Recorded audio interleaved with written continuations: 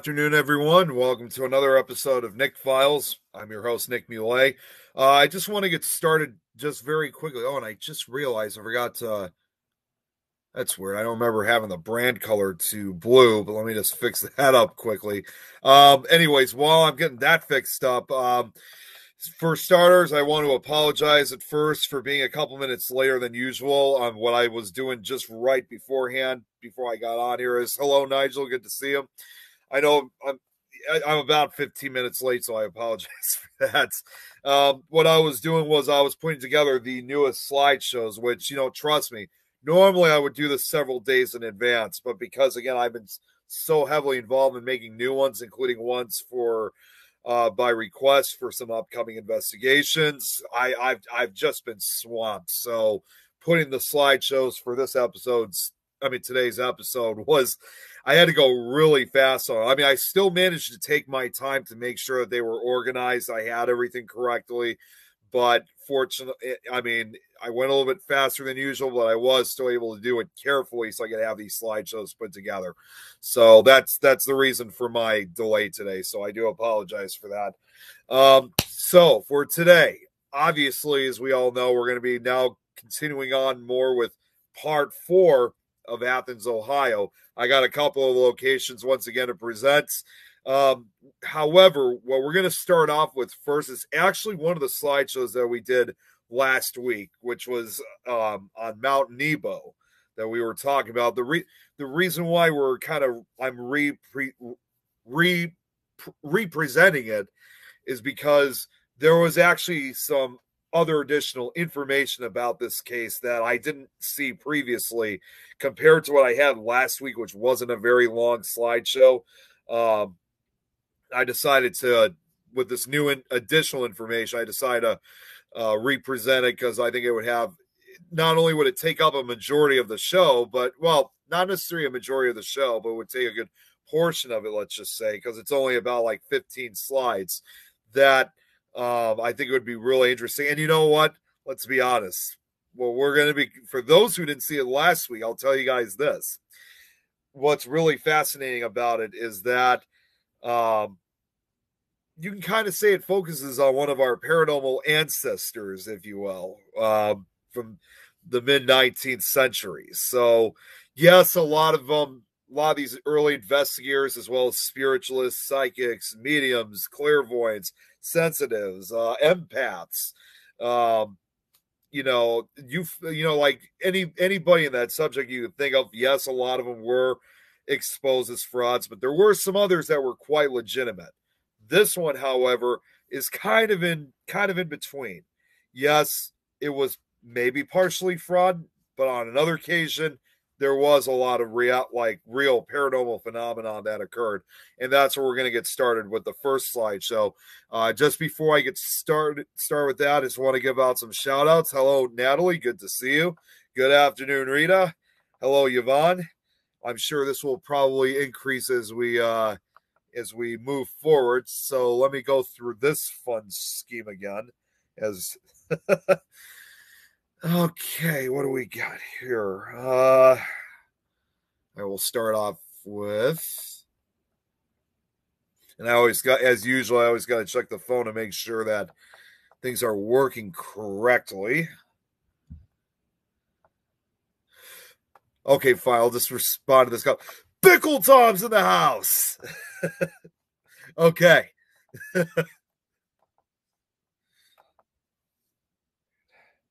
and while I'm doing this too, I also have to share the link to the show because since I'm now I'm on a ninth network, since I'm unable to broadcast officially on the ninth network, because StreamYard only allows you to broadcast date destinations. I kind of have to do all of this at the same time. And I'll tell you right now, until we can get more destinations, so it's almost a living nightmare when you gotta you gotta share this out on your own, especially when you're the only one. Okay, so let me make sure this is working. See if it's showing on screen. Okay, here we go. So, for those who didn't see it last week, we were talking about this last week, but I'm going to do it like I said. I'm representing this one for those who haven't seen it yet. But one of the locations that you guys may have missed uh, last week, we were we were focusing on one location that was called Mount Nebo, which is located out in the area of Athens, Athens, Ohio, of course. Um, on, just one second. I'm just sending this to the sending this uh, link to the page. Okay, I'm gonna have to probably do this while while I'm speaking. So, um, surprisingly, out of now for surprisingly out of all these locations that that I usually present, normally I would usually have I would have pictures of the event. I mean, of these locations themselves, but well, you guys will get an understanding why I had a map, fo- a, a supposed map of the location instead of the actual photograph. So, um, you know what? Here, I'm just about finished with sharing this. So give me one second here, guys.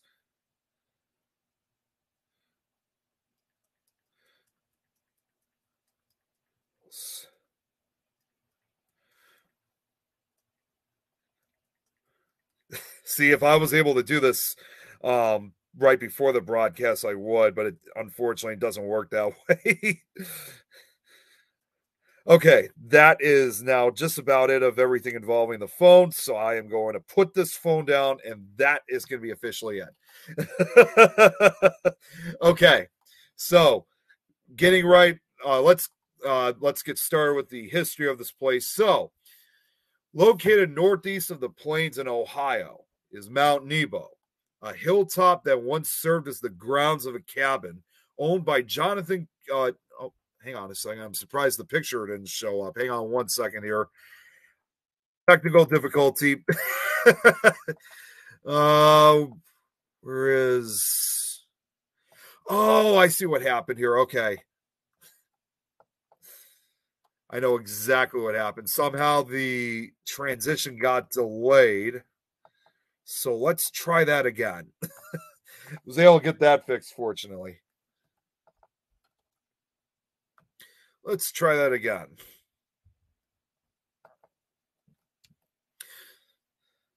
Okay, here. Okay, here we go.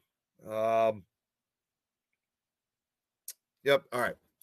So, as I said, located northeast of the plains in Ohio is Mount Nebo, a hilltop that once served as the grounds of a cabin owned by Jonathan Koons in the 1850s.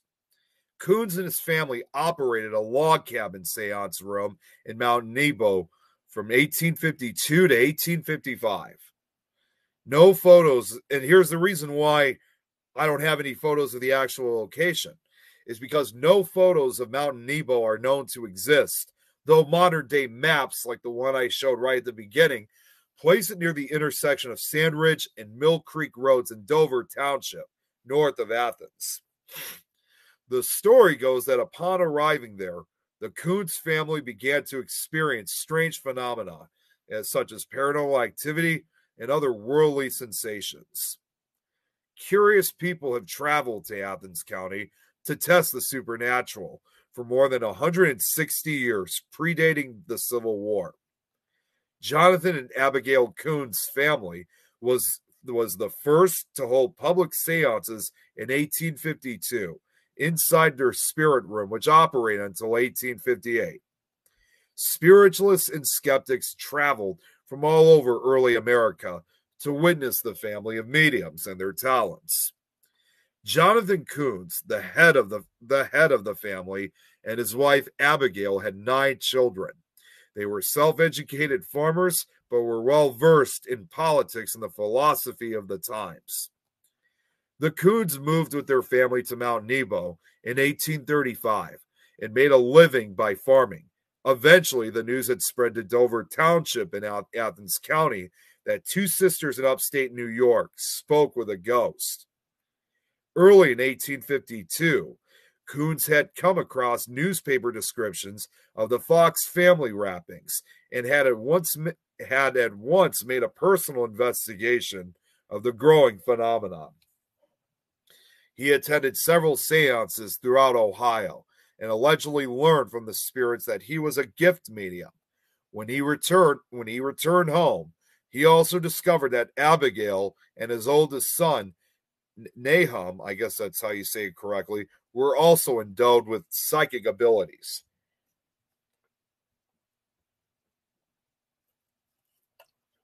Excuse me. So, according to Brian Collins, the Gawande chair, if I'm saying that correct, in Indian religion and philosophy at Ohio University, the spiritualism movement hit in the 19th century after the Fox sisters began communicating with the spirit of a murdered peddler through table tapping. It was believed that by talking through mediums to the dead, aspects of the afterlife in heaven could be revealed. Despite seeming so taboo, the movement was based in Christianity. After holding a number of seances of their own, the Koons were ordered by spirits to build what was dubbed their spirit room. They were given the exact specifications on how to build on how to build it, the size, the furnishings, and the equipment to use. The Koons immediately went to work and following the spirit's instructions, constructed a log cabin that was 12 by 14 feet, had three shuttered windows, a single door, and a seven foot high ceiling. The room was then furnished with benches that would hold about 20 people. The spirits also requested that they equip the spirit room with a number of musical instruments a tenor drum, a bass drum, two fiddles, a guitar, an accordion, a trumpet, a tin horn, a tea bell, a triangle, and a tambourine. Koons was not, however, not a wealthy man and could not afford all the instruments. Plus, he had trouble finding them in this remote part of Ohio, but managed to order some and borrow the rest from neighbors. After another seance, the spirit then demanded two tables, a rack for the musical instruments, and wire with which to suspend a few small bells and some images of doves that were cut from sheets of copper.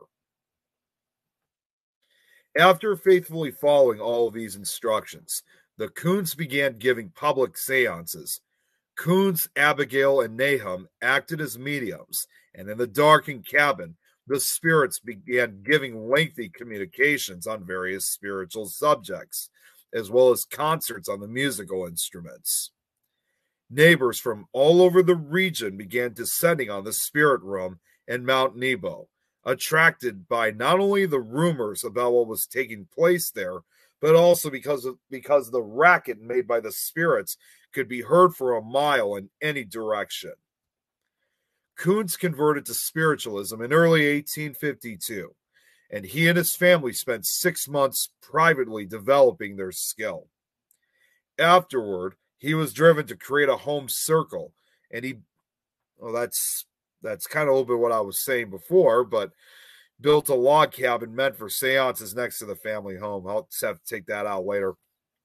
Um, Koons also built a machine which acted as a battery for the spirits, and this is an actual photo or kind of like a uh, blueprint of what the machine apparently looked like.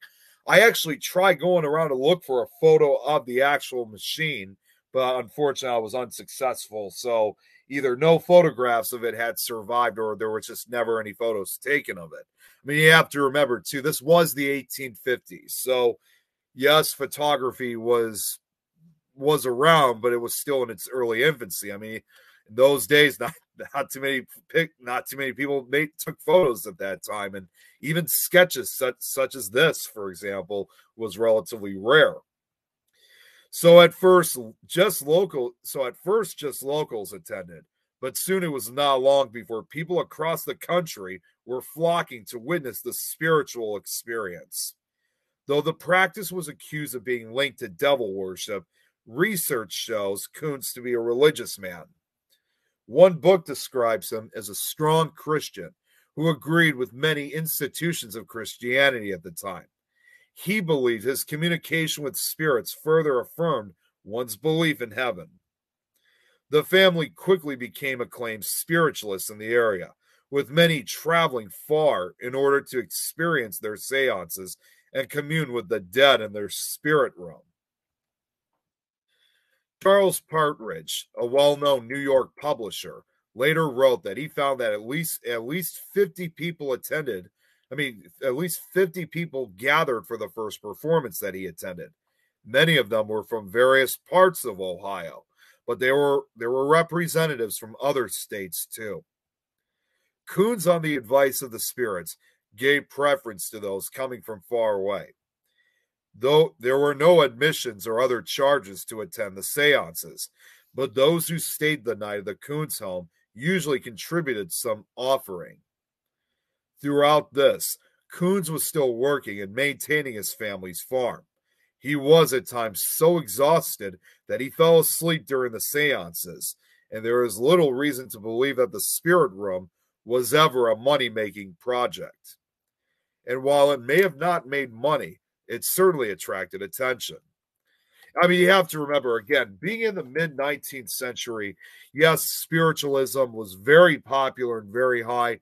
So I could sure understand why this attracted so many people from across the country because in those days, you know, it was yes, it was popular, but wherever you lived, it was it was a rare gathering, if you will. Um, you know, this was and this was something that was again, in spite of it sometimes being labeled as devil worship in those days, compared to like what it was 200 years prior you know, like throughout the 1600s, and of course, including the infamous Salem witch trials, where people were considered witches or worshippers of the devil, thinking they were worshiping Satan for this. It must have been a really interesting era to see it no longer necessarily being devil worship, but actually something people could attend from all over the country. So, in my opinion, whether these were actual seances or just made or were just frauds. This, it, oh my God, just. And of course, my phone has to call me. All right, I'm fine. okay, you know what? Let's see what everyone's saying now because I'm sure. yes, Eric, everything's fine. What's up, Lauren? Good to see you. Hey, Dom. What's up, brother? Good. To, haven't seen you here in a while. Good to see you. Hello, Charles. I'm doing just fine. Okay. Anyways, enough with the scaring. Continuing forward. But uh, no, actually, no. What I was trying to say before that happened was that, my opinion, this probably would have to. I would I kind I kind of see this in a way of being like the first, if you want to kind of call it the first public paranormal investigations, because I mean it's not exactly as how it is like what we do today, but again, having 20 to 50 people gathering around for seances, that's got to be the earliest version of public investigations. So as published so published accounts soon began to appear in journals and spiritualist newspapers, and from these reports, it becomes quickly obvious that the seances were not for spectators with fragile fragile nerves.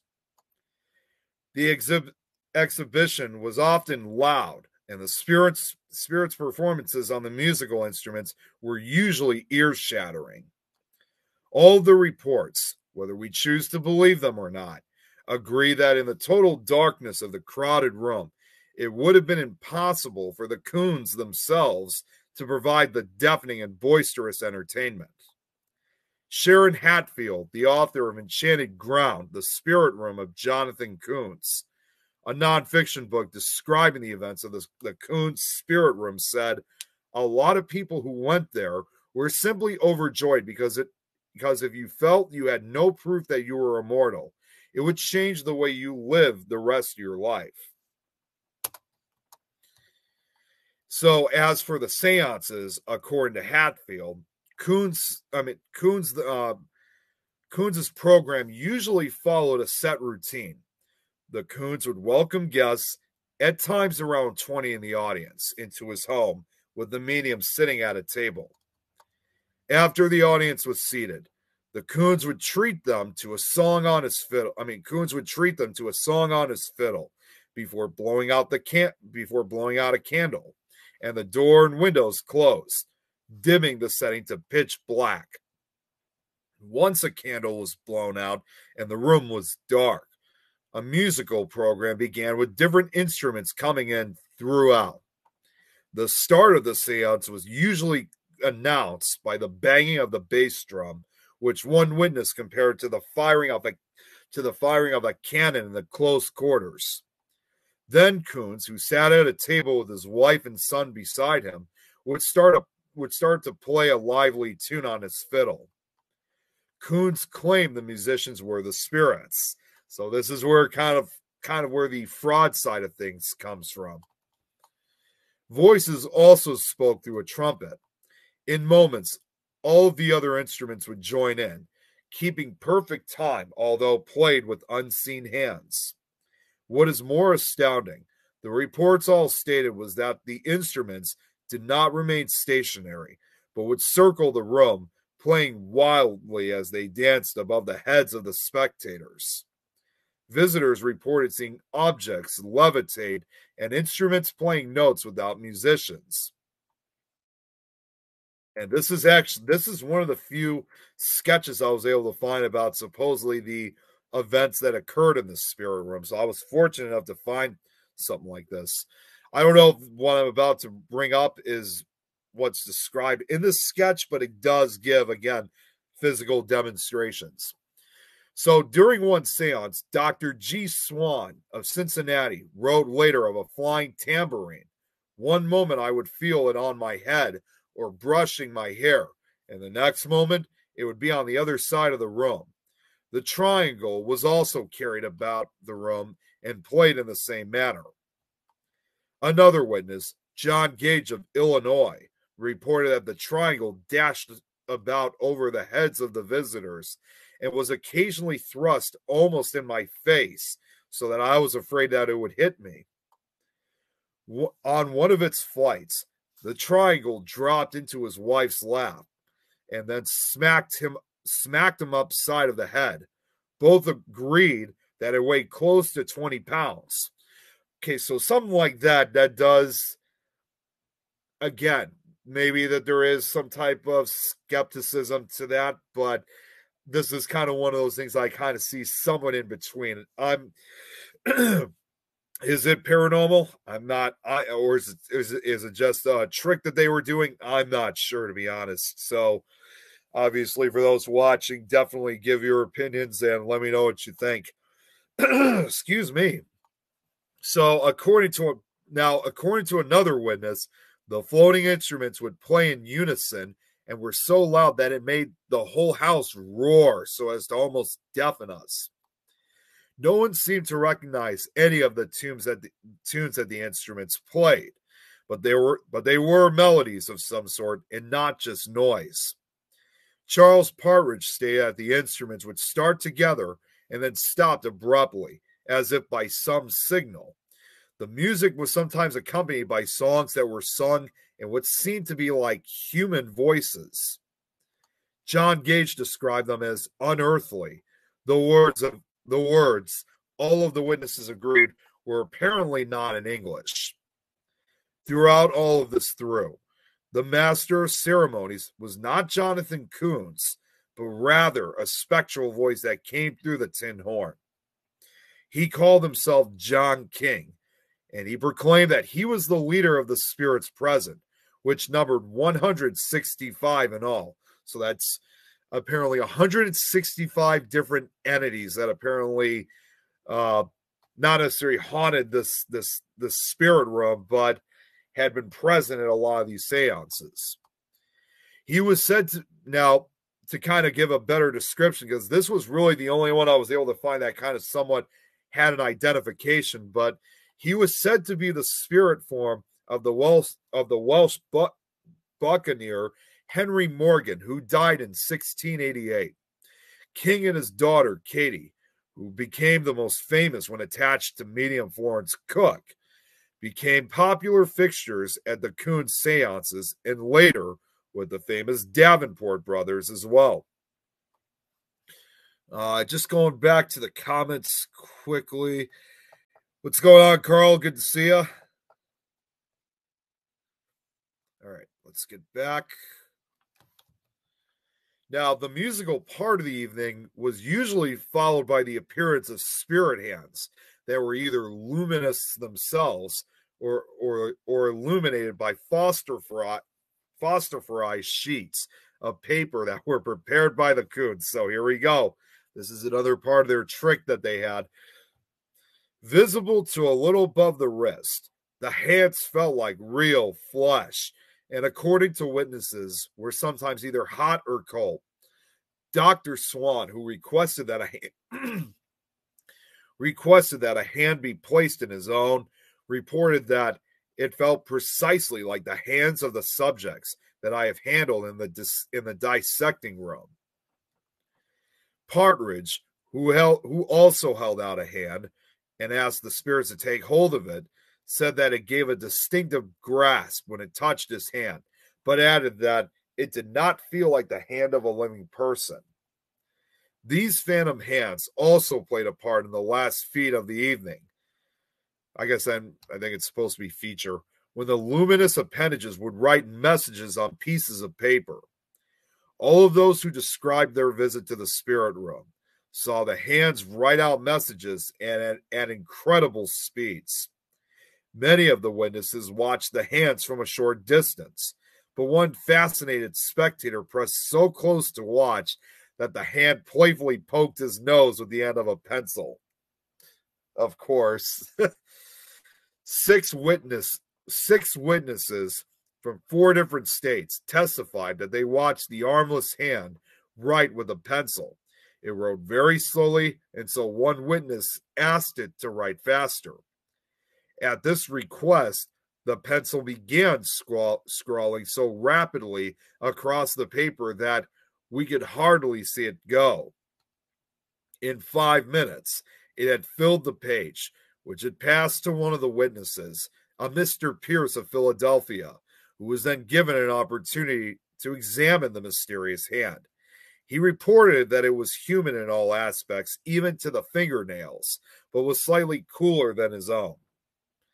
Pierce then took another sheet of paper and the spirit's pencil and began tracing an outline of the hand on the paper as far as the wrist, but found nothing any further than that point. The hand then shook hands with him and immediately vanished. I don't know what the Koons were doing, but they obviously uh they obviously were putting on a good show and whatever however they were doing it with these phosphorized phosphorized sheets of paper. It's a pretty good trick. Yeah, it even says it is believed that this was family members tricking the guests. So Reports of these wonders traveled all across America, and hundreds came to Mount Nebo, claiming that it was a place of spiritual significance and a sacred site even to the Shawnee Indians. According to some sources, a psychical society Christian Mount Nebo as one of the most haunted spots in the world. By 1856, however, Koons had been accused of fraud which damaged his reputation and has made his family reluctant to continue. Their farm also cannot continue to operate while housing so many guests, nearly six nights a week, as Koons took only donations for viewing seances. As for the Koons, their spirit room continued to operate and attract visitors until the end of 1858.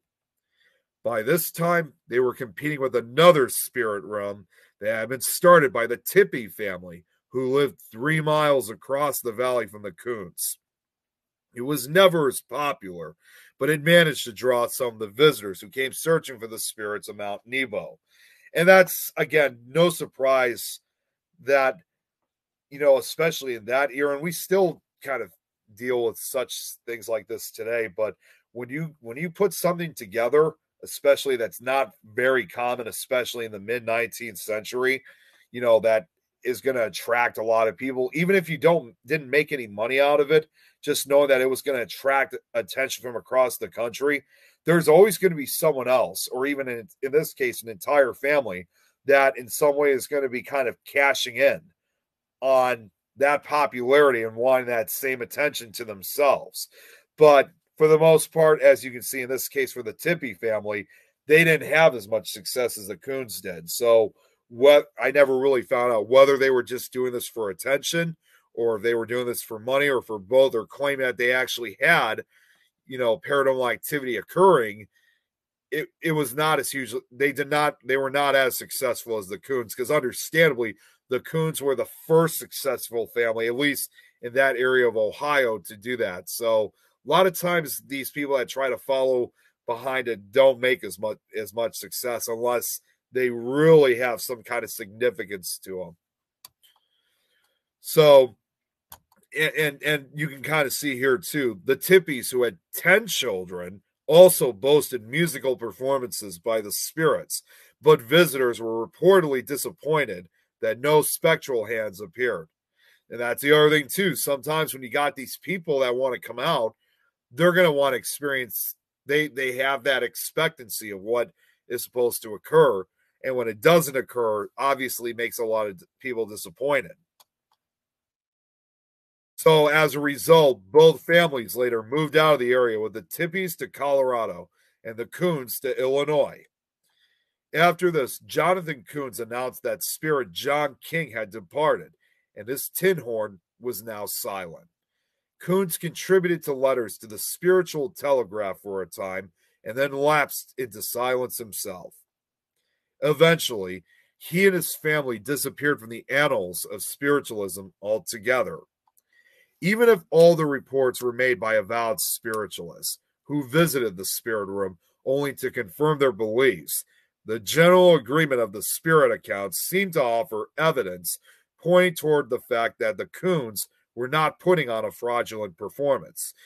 And that's what I said earlier. I think some of it may have been probably, you know, acted out or may have been fraud in some way, but I think on other occasions that they act they had actual activity occurring. So that's why I said earlier that it was kind of a 50-50, if you will.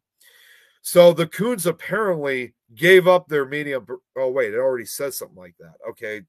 Already apparently gave up their medium performances and moved to Illinois.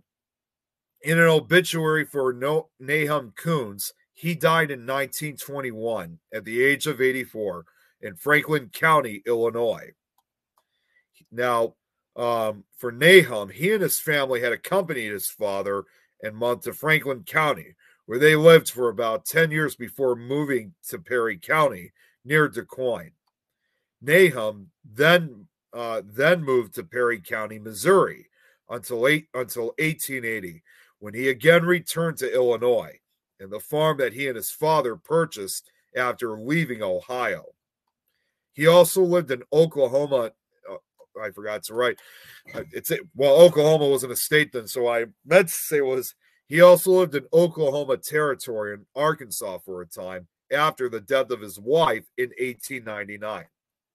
He remained a spiritualist, however, throughout his life, which was described by those who knew him as exemplary. As a re, um, as a result, for Nahum, he passed away in his sleep on August on August 26. You know what?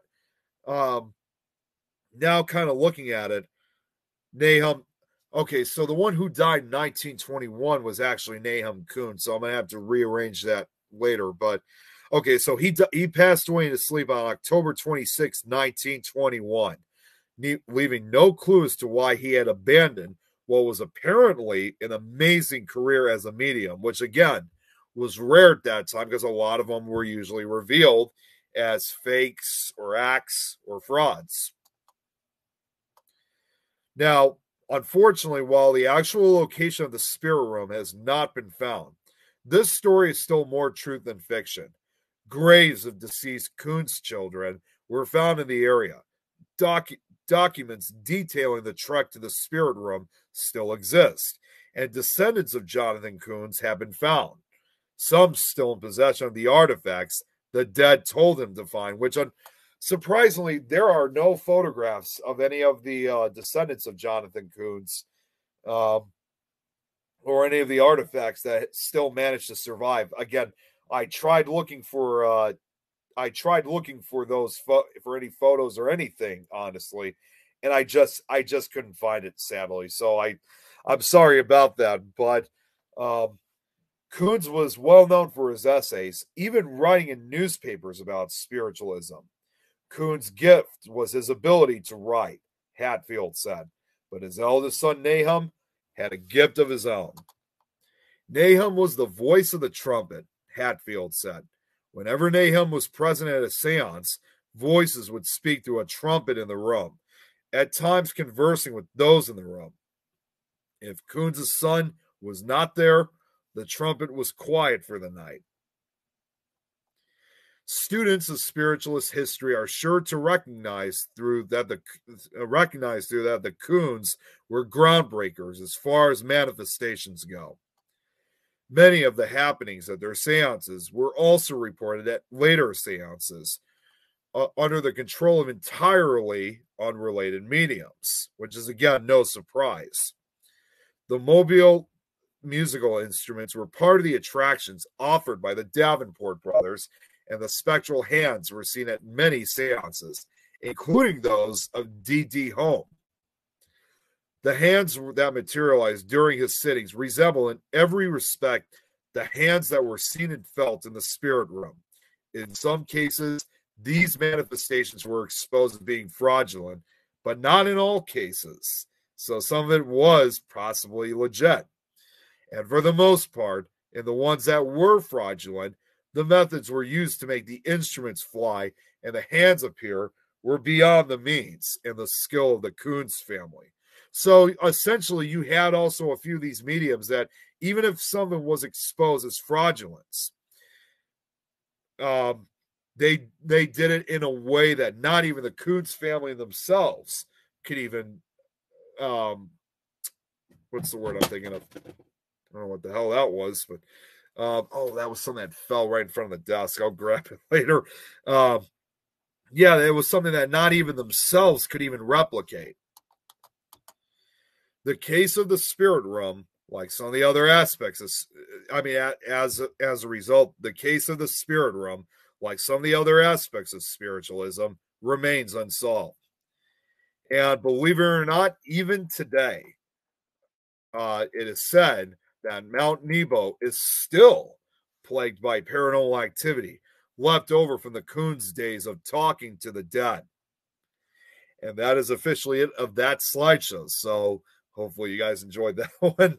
Uh, I do have a couple more. Just want to get to the comments quickly. Uh, so Eric here just said that doesn't make any sense. How can you fool someone that as a doctor, even back then, he would be more scientific?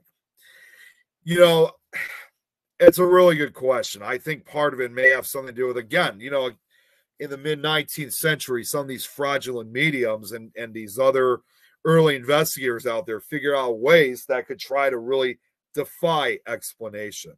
Um, yes, sometimes it was later found out to be fake, but they they sometimes really did put on a good show to really convince what they were seeing was paranormal. But again, not all of it was later found out to be fake. Some of it actually was true activity that occurred. So, again, yes, some of it was fake, but for the things that did happen, I still have to get, give kudos for Jonathan Koons and his family. So, in matter of fact, I actually have a list of all these different investigators. Usually, the one I usually I kind of skip the ones that were that were found to later out later find out to be frauds but so I usually stuck to a lot of the legit ones. But I actually have a list, or what I would call the closest you could ever get to as a paranormal memorial list of the names of all these different early paranormal investigators and spiritualists, as well as psychics, mediums, um, clairvoyants, sensitives, uh, empaths, um, sense uh, you know like uh, uh, even even some of the witches and supposed witches or whatever. I have this whole list that dates back literally almost 200 years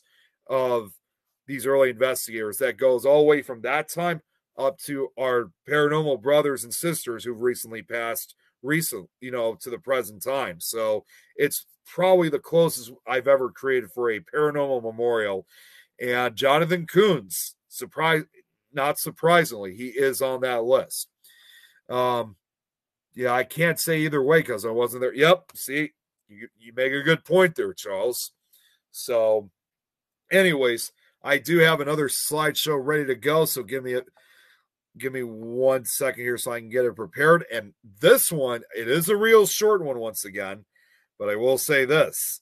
This one is uh we're going to be taking this to a different direction. It's still going to be paranormal, but I have not even delved into the subject yet. So this is the first for this one. Okay, so let's see here.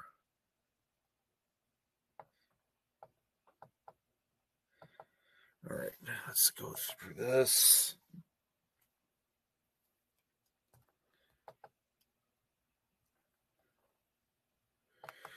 Okay. Just checking on the screen to make sure it's showing. All right. So, next place we got again, this is this is not going to take that long at all. Um we're next our next location we're going to focus on is US Route 50. Now I notice obviously I have a different color in the cha- in, in the title than what I normally would use unless you can understand it right away. You'll get it eventually why it's uh, a green title this time. I forgot to add the transition to that. But to talk a little bit about the history of US Route 50, in 1912, the route became known, would become, I mean, the route that would become US 50 was designated Main Market Route 45. In 1923, market, Main Market Route 45 was decommissioned, and SR 7 replaced it from Indiana to Cincinnati. SR 27 from Cincinnati to Milford, and SR 26 from Milford to Athens. US 50 replaced SR 144 from Athens to Coolville, and SR 7 from Coolville to West Virginia state line. At this time, the route that later became US 50 was paved between Indiana and Highland. Ross County line. In 1926, US 50 was signed on a, on a route similar to today. The current route, the US 50 between Athens and West Virginia, became US 50S in 1929, with the current SR 50 becoming US 50 North. US, okay, so I think I, I think I get it now what ends S obviously stands for US 50 North, um, excuse me, US 50 South and US 50 North would be replaced with US 50 and US 50 alternate in 1935. The Columbia Parkway in Cincinnati was completed in 1941, and US 50 was rerouted onto the parkway. The road west of Cincinnati became a four lane divided highway in 1949. In 1965, the 6th Street Expressway opened, and US 50 was rerouted onto the expressway. Oh, excuse me. Also in that year, the section of US 50 that is concurrency with SR 7 became a four lane divided highway. US 50 was routed onto the eastern section of the Athens bypass when it opened in 1977. The western section was opened in 1979 and US 50 was route onto that year. US 50 between Athens and Coolville became a four lane divided highway between 1997 and 1999. Between 2003 and 2007, a new bridge across the Ohio River was built. And see again, this shows how how short this one is, but there's more to it than this. This is not officially the end.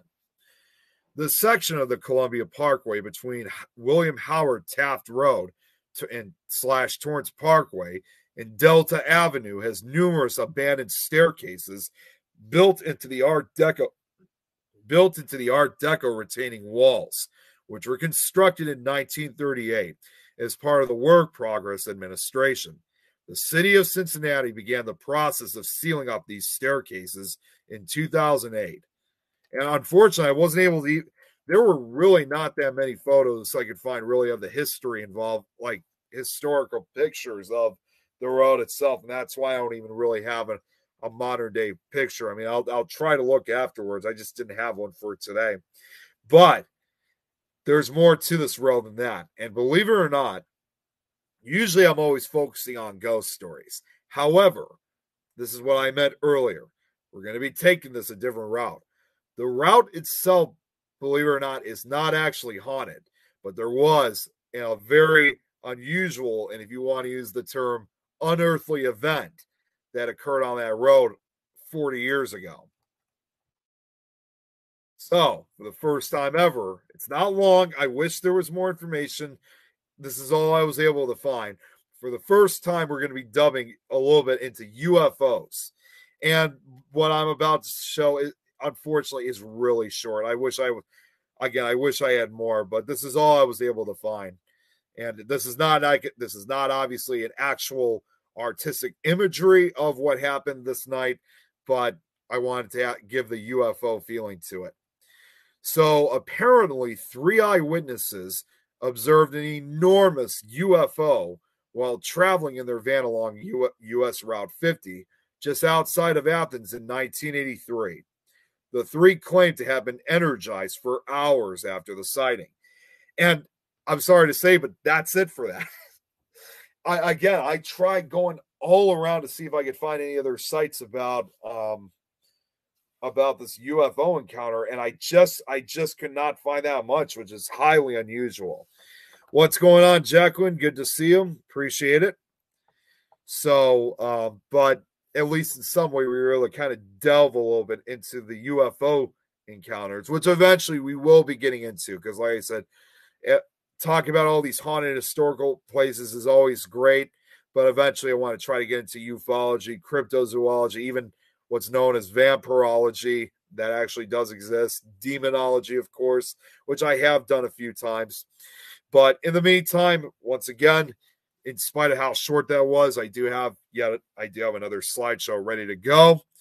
So let me get the next one. And this one, too, again, is a really short one. But as short as this one is, this one has a really interesting appearance to it, even outside the history and paranormal side of this location. So give me one second here once again. And so the next location I got here, which is I think with it's not actually in Athens itself, but it's in the town of Coolville, which is still part of Athens County. So this this location is what's known as Bethel Cemetery. There's not really too much actually really to talk about the history, but I still decided to add it as a history section. But the Bethel Cemetery. This is what's going to stand out from a lot of the other ones and a lot of other cemeteries that, you know, most of us are very familiar with. The Bethel Cemetery is known for its questionable layout of graves that are puzzling due to their strange direction. I don't know if you guys can really tell by this photograph, but I'll explain a little bit further. It is common knowledge, as we all know, that the majority of cemeteries plan out the graves I mean, plan out the graves to face east to west, naturally aligning with the rising sun. But this graveyard has a set of plots that are arranged north to south, which isn't a normal layout for a cemetery and with no visible explanation as to why. In addition, many of the graves are sunken.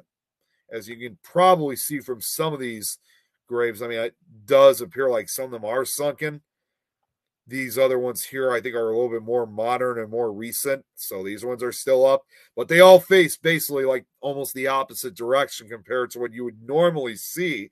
You normally see in other cemeteries. So already going quick to the ghost stories.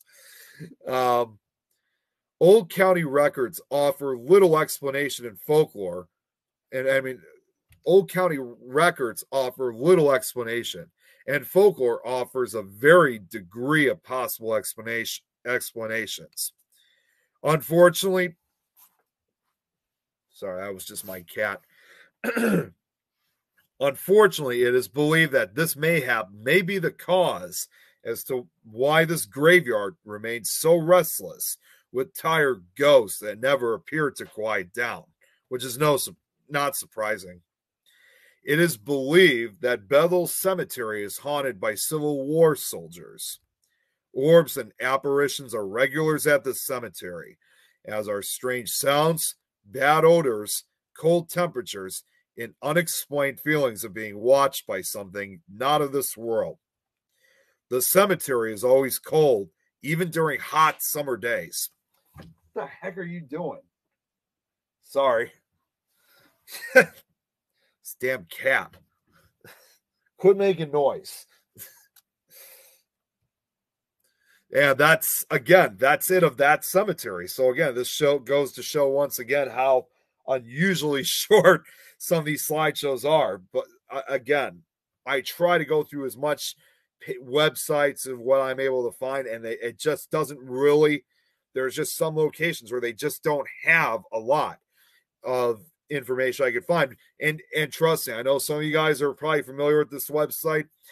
I'm sure a lot of you guys are familiar with findagrave.com. I have gone to find a grave to uh to try to find whatever details they have to offer on that cemetery uh, on some of these cemeteries and sometimes they just they just have little to no information regarding the history of these locations so with that being said on to our next one this one is is also a really short one again probably even shorter than the last one but i promise you the next one after this one will probably remain we'll probably be able to focus on for the rest of the show. So give me one second here. Play with this all over again.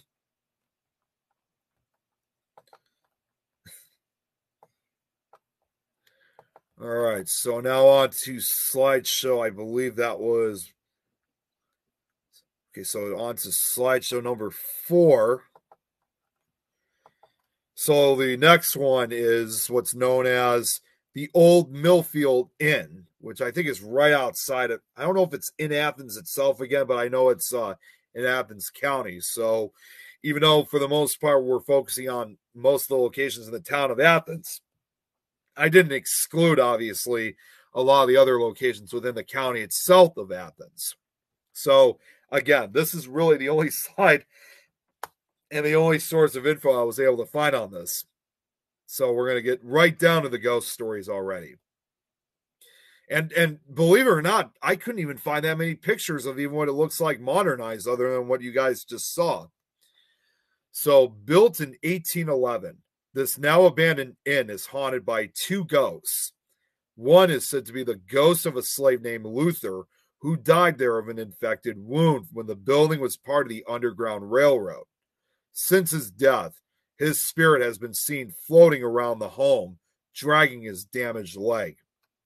The other ghost of the inn is a bootlegger named Sam. He was killed in a drunken state when his illegal still exploded. Witnesses have reported drunken laughter coming from the inn. And again, see how see how I how short I told you? Again, anytime when basic anytime when I basically go through these sites, I do have to have when I put these presentations, I'm always going to be under the expectation that some of them are just going to be really, really short. I mean, not all of them are winners. Again, I do my homework as much as I can on these, and there's just again, there's just not much you can really do. Uh Eric, you, you didn't know about that? The Find a Grave website. Yeah, they have a website called findagrave.com. It's uh it helps you locate different cemeteries, even if they were some even if they're older cemeteries that no longer operate, they usually have them on their websites. And of course, and additionally and understandably, they also keep records of not everybody, but a lot of recorded burials that have occurred in over the probably about last 200 300 years not necessarily saying that they've been around since then, but they have kept the records and they're still following with modern day recorded uh, recent deaths that occurred. So, if you got any family members or anything like that, you know, anybody close to you who passed away, there's a good likely chance that you might be able to find them. Um, of course, understandably too, sometimes people that we we we've known you know, I will sometimes have the same name. So you got you got to you're going to have to kind of search carefully unless you're able to find what makes it easier to find those that whether it's a family member or friend who passed if, if there's a photograph, then yeah, you won't be searching for very long. Um, all right, so Lauren here just said, I found a lot of my ancestors. Yep, see, just like that's a primary example right there found a lot of your ancestors' graves using the Find a Grave website. It's a great website. uh, to find, you know, your past relatives and ancestors. Fantastic site. So, but yeah, Eric, I'm really surprised you haven't heard of that. So, but that's where I get some of these this information from when I put my cemetery presentations to get. I mean, presentations, cemetery presentations together. Okay, so we got about 20 minutes left. So therefore, as I kind of said for last week, I or maybe it was the week before, I think we have time for one more slideshow. And this one, like I said, should last for the majority of the show. So let's get to it. Alrighty, so on to slideshow number five, and and also while I'm and, and while I'm getting this set and ready, this one has a similar name to the other location, but you guys will realize very quickly that it's a completely different location. It is called Old Millfield again, but this time it's a different location in this area. Thank you, Rita. I really appreciate it. Hang on one second. Here we go. Unfortunately, this is the last time I got to play around with this.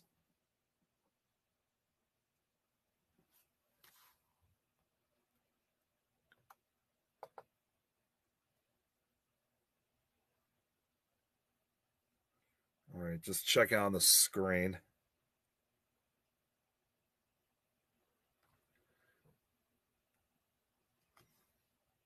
And for some reason, I got some kind of not feedback, but for some reason the show is not not cooperative. Okay, here we go. All right, we're good. We're good then. I was trying to figure out why is the screen frozen from my side, but it, it was just a delay. So the final location I have for today before we call it quits. Again, similar name but different title, but different place entirely. So it's known as the old Millfield Mine, which is now abandoned. And again, this place, in spite of what happened here, I just again, especially for you know, there there was there's just not that many pictures I could find, which I was really surprised by this. I think it might surprise a few of you guys too on this, but right from the start about this old abandoned mine, it had a really, really rough history. This is, I believe, I don't know if this is the one that would eventually fall into fall into disaster, but I know it was one of the mines that did exist at that time.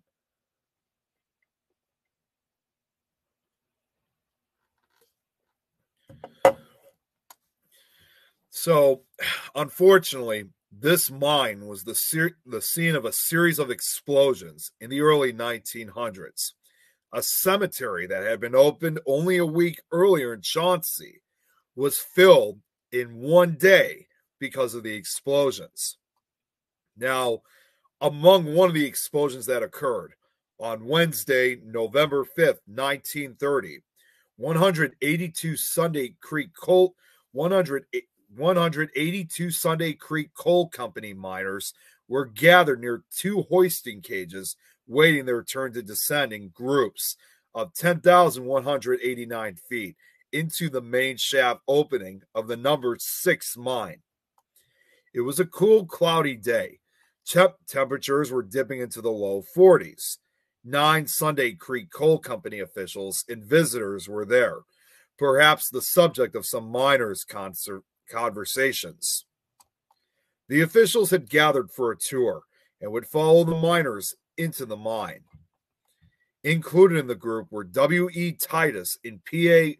P.A. Cohen, president and vice president of Sunday Creek Coal Company, H.H. Upson, assistant to Mr. Titus, H.E. Lancaster, chief mine manager and uh, excuse me, chief mine engineer, and Walter Hayden, mine superintendent. Apart from the unusual presence of Sunday Creek's top officials, this day appeared no different to the miners than any other day mining coal at the number six mine. However, this day would end tragically as no other day in Ohio's mining history. The number six mine was located about one mile east of Millfield, Dover Township, Athens County. In 1930, Millfield was a community of about 1,500 many of whom who worked whom worked in the number six mine.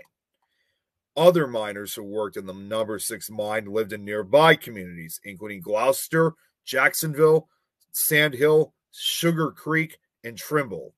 The number six mine, formerly known as the Poston number six, was opened by the Millfield Coal Mining Company, founded by Clinton L. Poston and George H. Smith, and leased to the Poston Consolidation Company in 1911. The first coal from the mine was loaded on March 4, 1912. In September 1929, Sunday Creek Coal Company acquired the Poston Number 6 mine. The, the Sunday Creek Coal Company was a major corporation, the second largest coal company in the world in 1905. Included in the company's holdings were 60 mining properties 30, 33 of which were in Ohio. So you had about more than half of them in the state of Ohio at that time.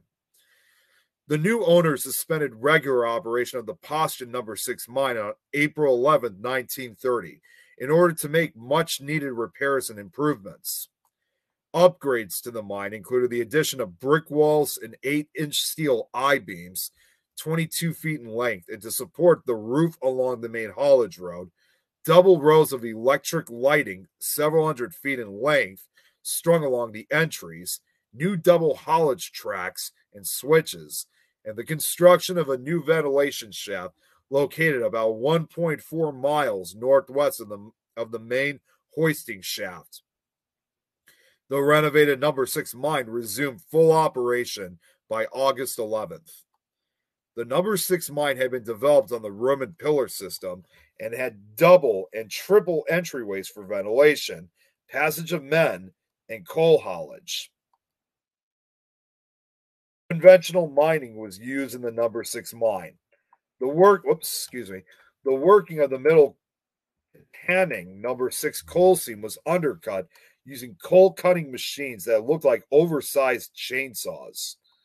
Once the coal had been undercut, several holes were dr- drilled into the working face. Explosive charges of pellet powder were then inserted into the holes and detonated. Following the explosive shot, the loosened blocks of coal were loaded into coal cars by hand. The loaded coal cars were taken to the main hoisting shaft by electric shuttle engines and then raised up the shaft to be unloaded at the tipple.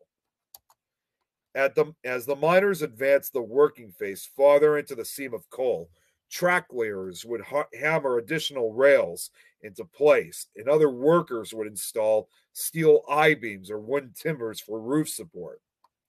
By November, about 5,000 tons of coal were being mined every 24 hours, five days a week. The mine operated by double shifts. The coal was shipped from the number from the number six mine by the Kanawha and Michigan Railroad.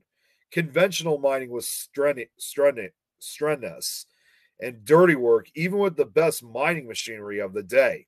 Usually, work stopped only for 30 minute meal breaks.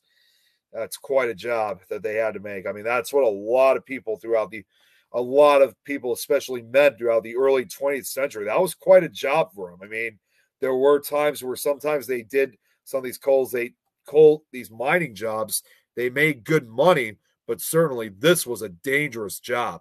It wasn't always just men, if you guys are not familiar with that. I mean, some of the history involved. It wasn't always just adults. There were even younger people that, you know, I'm talking young teenage boys and even younger who worked in the mines. Sometimes, unfortunately and sadly, it was through force, but there were others that sometimes they just desperately needed the money. So, unfortunately, without warning, tragedy struck suddenly at 11:45 a.m. on Wednesday, November 5th, shortly after the miners' lunch break. A tremendous explosion explosion erupted at the rear of the mine, several hundred feet from the working face. The explosion occurred 10,200 feet from the main shaft. A group of 79 miners working about 4,700 feet from the main shaft, heard a terrific slam and a whistling noise of a powerful gale, gale approaching them from the northern portion of the mine. Instinctively, Some miners dropped to the floor of the mine, while others were knocked down as a great gust of wind passed over them. This gust of wind was followed shortly afterward by a second rush of air passing in the opposite direction.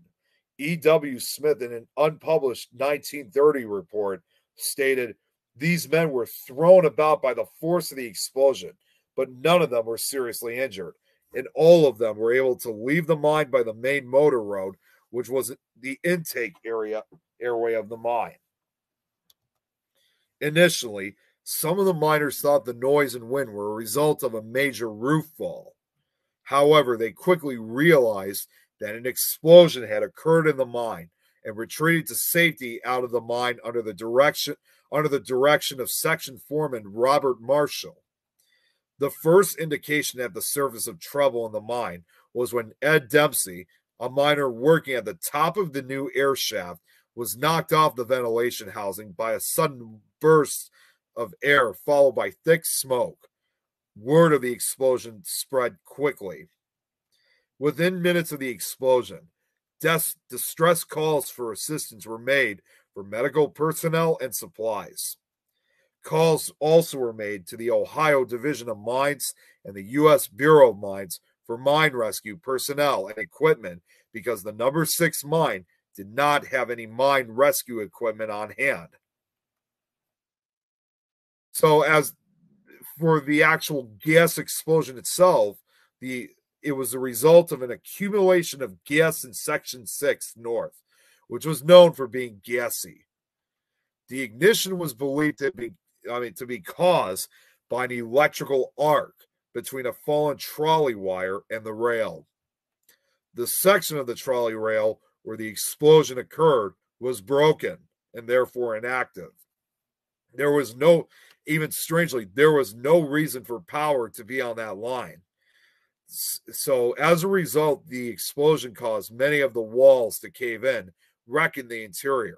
So, that's the thing, too. For an area that didn't even have any power, it makes no sense whatsoever for an explosion to even happen unless if there was an electrical arc in this case, the current could have traveled and probably found an exit if I'm I'm not really an engineer on this kind of stuff, but in some way it must have gotten in contact with possibly the methane gas, which usually builds in mines. And when there's so much of it, or if it comes in contact with any type of electricity, it explodes, of course and it was in fact it was so powerful that cars were pulled off tracks and beams were twisted up to 760 feet from the main shaft equipment equipment was also found scorched near the explosion site the mine had recently undergone improvement and they were in the process of making more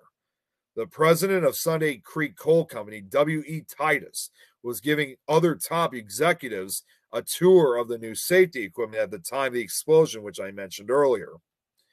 They entered the mine shaft. They entered the mine shaft half an hour previously, previous to the explosion, and had made it about one and a half miles into the mine. And I'm sorry to say, tragically, these men were killed in the disaster.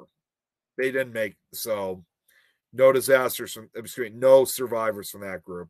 They didn't make it. So, fully, there were about 250 men at the mine that day, and many of them, however, were able to escape. Were able to escape after the explosion. However, nearly 100 now to kind of give a full count, nearly 120 men escaped from the interior of the mine one way or another. Many of them also use, I mean, many of them use the ventilation shafts as exits. Um, However, first news reports stated that 150 miners were trapped underground as a result of a gas explosion. Families and relatives of the miners, news media personnel, and spectators surged into Millfield to learn the fate of the miners.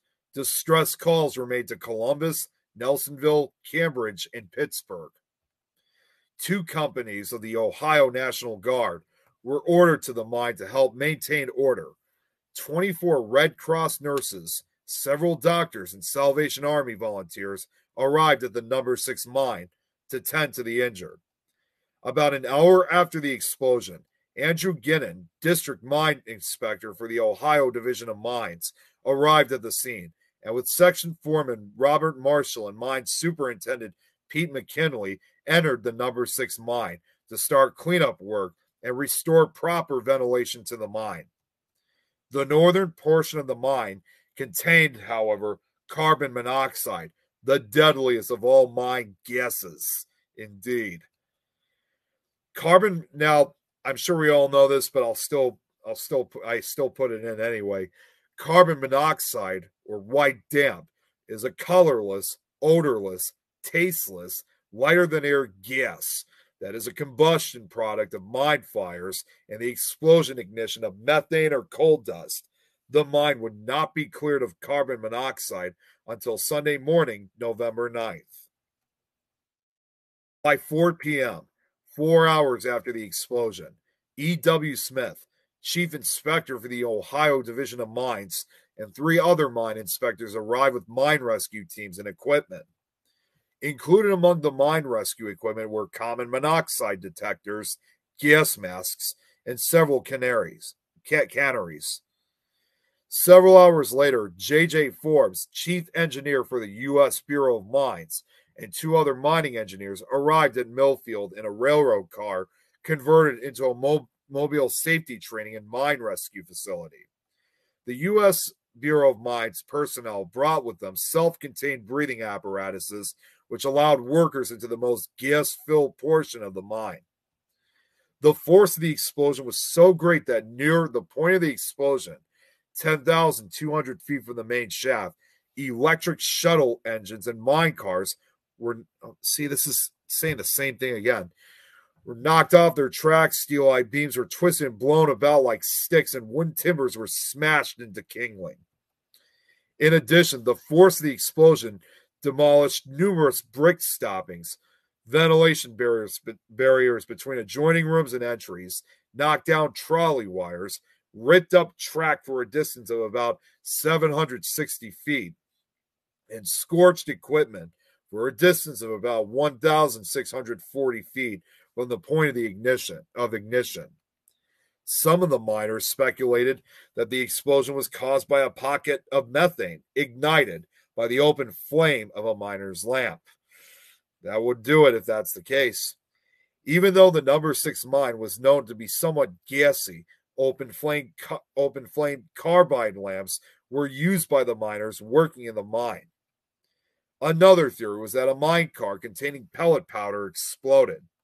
However, careful examination of the debris by state and federal mine inspectors revealed that the explosion was triggered by a rock fall that broke an electrical trolley wire cable, which then shorted against an underground train rail, producing an arc, which ignited a pocket of methane gas, gas that had collected in that portion of the mine. That would actually make a better explanation. Ventilation to the damaged portions of the number six mine was restored slowly. Canneries carried by mine rescue personnel were overcome in three to four minutes by high concentrations, 0.3% of carbon monoxide. Carbon monoxide concentrations greater than 0.25% can cause a person, person to lose consciousness very quickly and apparently without any pain or suffering.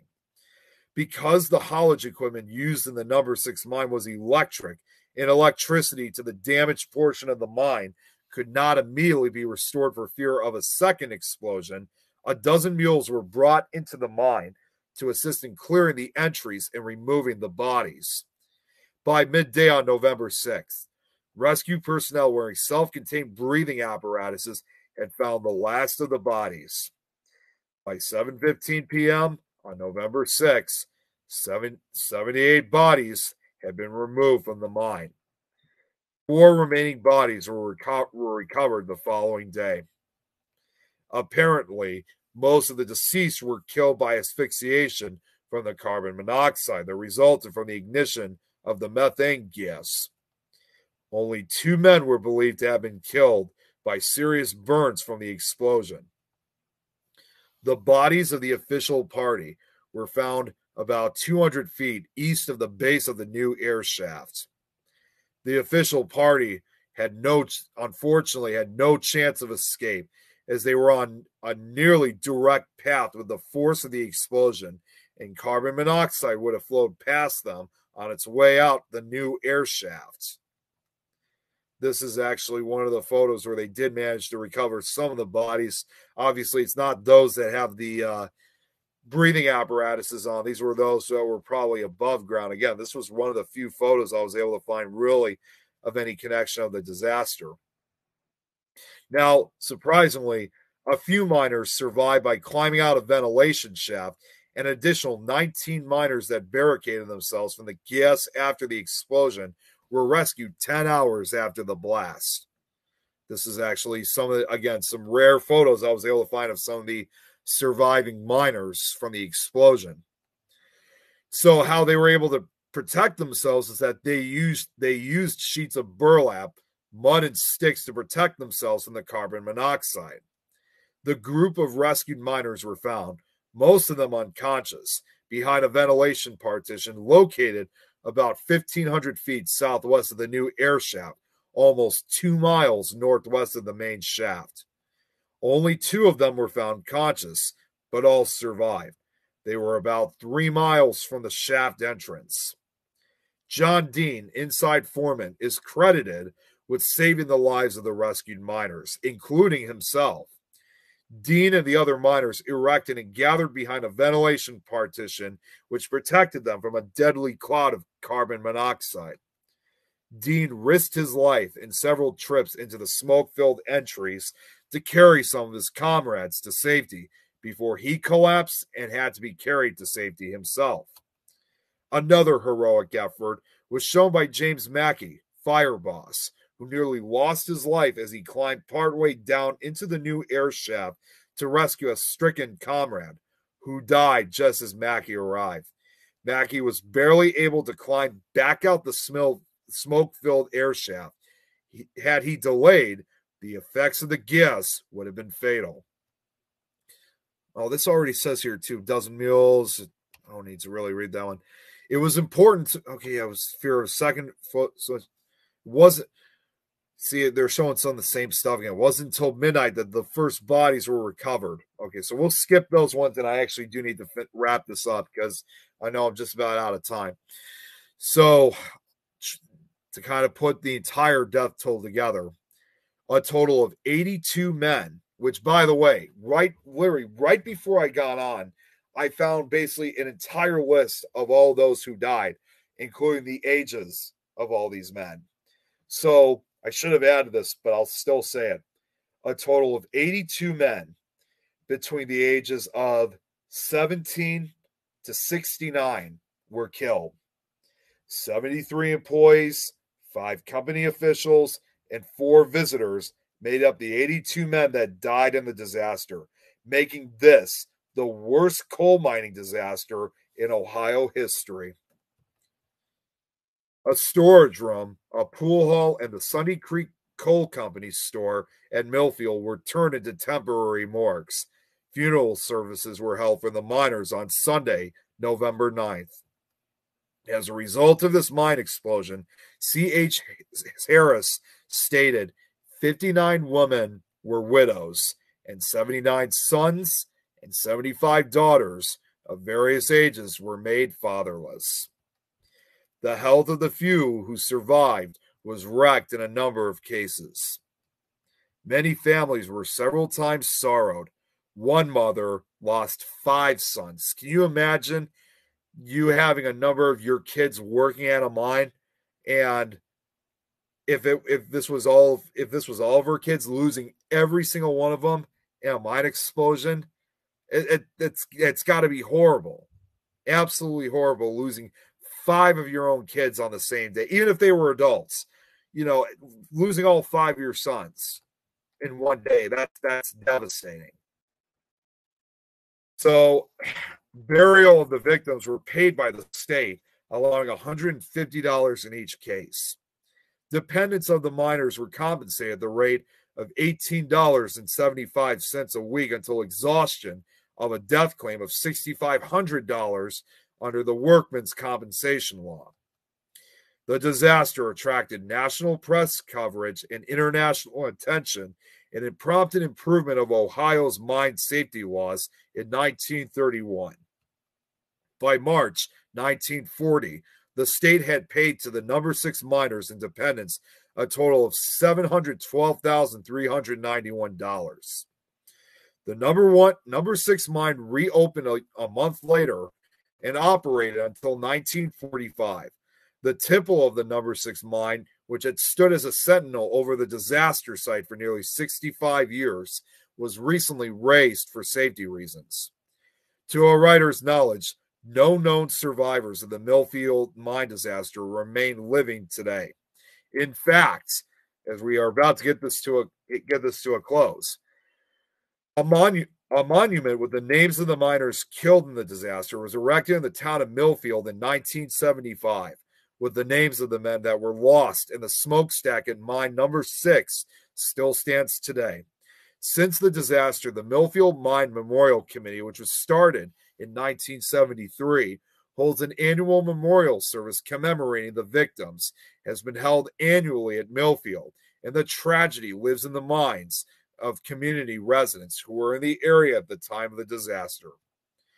Sigmund Kozma, who was 16 years old at the time, he was act, um, he, uh, who was 16 years old at the time he survived the, the explosion, was recently identified as the last living survivor of the Millfield mine disaster. And that's what the mine, like I said before, looks like today. There's relatively few photos of what it even looks like now.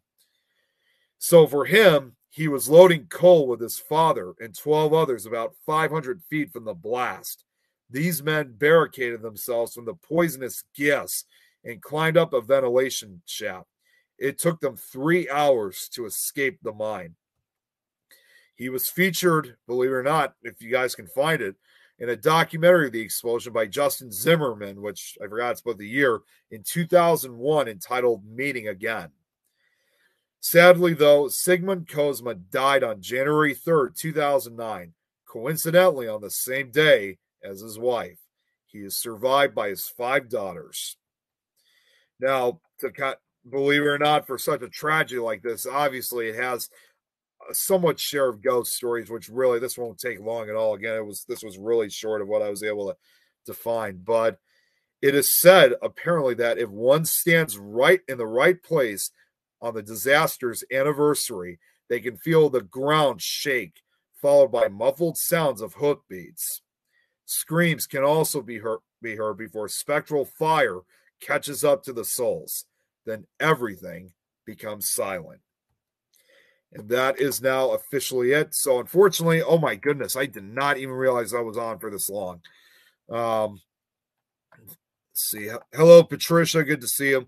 All right. So, again, I I know there's a show right after me on one of the networks, the other networks. So I do apologize for keeping if I'm keeping them on, but uh, you know, I got to say that's really sad stuff to look at. So, but it was it was definitely worth putting this together. So, um, yeah, it's I and, and trust me, this is not the first time I've actually covered disaster, uh, historical disasters. I actually did that previously, and I do plan on doing this again in September.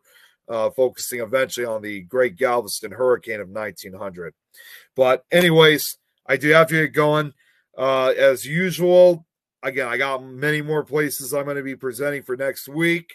So there will be, of course, again, a part five for Athens, Ohio. And uh, we'll continue fo- we'll continue on our virtual tour as always, if you will. Um, and, and, you know, obviously, just like with what we were just reading today, we are going to be eventually coming across sad stories like this um, when it comes to these type of locations or events. So, but as always, you know, I always appreciate you guys coming in, hanging out, tuning in, because like as I always say every week, you know, we I not only do this for myself, but I do this for you guys because it's a lot of work putting this together. So I really appreciate it as always, guys. And um, Of course, I'll be back on tomorrow afternoon with Lois and Rosie to the grave and back. And I actually do remember what we were going to be talking about this time. We're tomorrow. We're going to be talking about the uh, the Jim Jones massacre, which I was actually I was hoping originally we were going to do that in November because later this year is going to be the 45th anniversary of that massacre. But you know, either way, it was 45 years ago already. Um, and that, of course, Supernatural talk tomorrow night. It will be our one year anniversary, so I'm I'm really looking forward to it. And then Friday we have, I know we have a guest coming on. Um, shoot, I can't remember who it was. I always keep forgetting uh, who we have on for Frighteners, but uh, either way, it's going to be a good show. But either way, thank you guys all so much. I got to get off here. Uh, I'll probably see some of you guys tomorrow afternoon for uh, to the grave and back on the other shows. But if not, if you're going to wait for the next episode of Nick Files, I will probably I will then see you guys next week. You guys all have a great night.